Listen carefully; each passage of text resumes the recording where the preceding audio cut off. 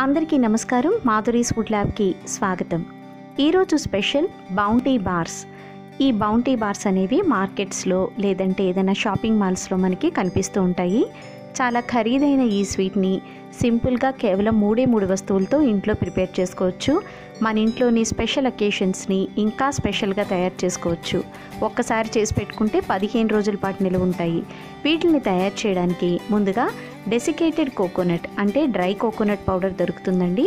ఇది రెండున్నర కప్పులు తీసుకోండి. ఇక్కడ నేను చూపించే కొలత కప్పు వన్ ట్వంటీ ఫైవ్ గ్రామ్స్ది. మీరు ఏదైనా కప్పుతో కొలతగా తీసుకోవచ్చు.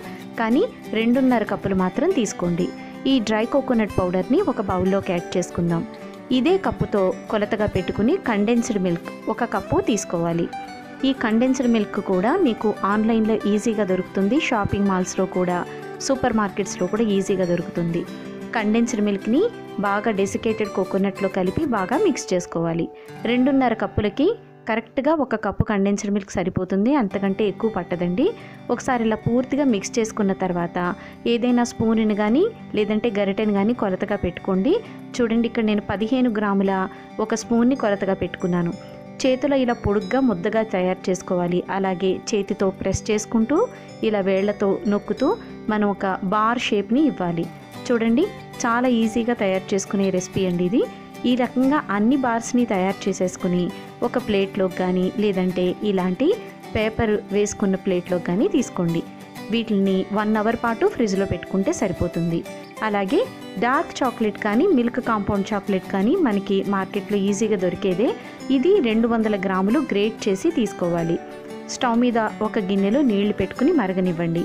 దీంట్లో గాజు బౌల్ని కానీ లేదంటే నార్మల్ ఏదైనా స్టీల్ బౌల్ అయినా పెట్టుకోవచ్చు. తడి లేకుండా మాత్రం చూసుకోండి. ఇందులో మనం గ్రేట్ చేసి పెట్టుకున్న డార్క్ కాంపౌండ్ చాక్లెట్ని వేసి ఐదు నుంచి ఎనిమిది నిమిషాల పాటు మీడియం ఫ్లేమ్లో కుక్ చేస్తే చక్కగా ఇది మెల్ట్ అయిపోయి దగ్గరికి వచ్చేస్తుంది. స్పూన్కి కూడా తడి లేకుండా ఉంటే సరిపోతుందండి. మీరు డార్క్ కాంపౌండ్ కానీ మిల్క్ కాంపౌండ్ కానీ ఏ చాక్లెట్ అయినా తీసుకోవచ్చు.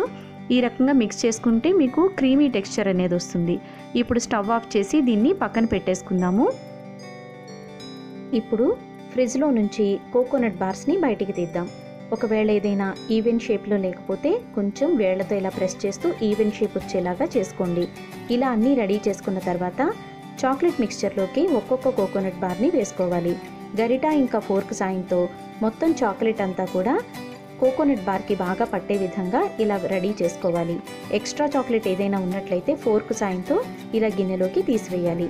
రెడీ చేసుకున్న బార్స్ని ఇలా బేకింగ్ షీట్లో కానీ లేదంటే ఏదైనా ప్లేట్లో కానీ ఒకదాని పక్కన ఒకటి కొంచెం ఎడ్జ్గా ఉంచుకుంటూ ఇలా రెడీ చేసుకోవాలి. ఒకవేళ మీకు డిజైన్ కావాలంటే తడి మీదే ఇలా నైఫ్తో చిన్న డిజైన్ని ఏర్పాటు చేసుకోండి.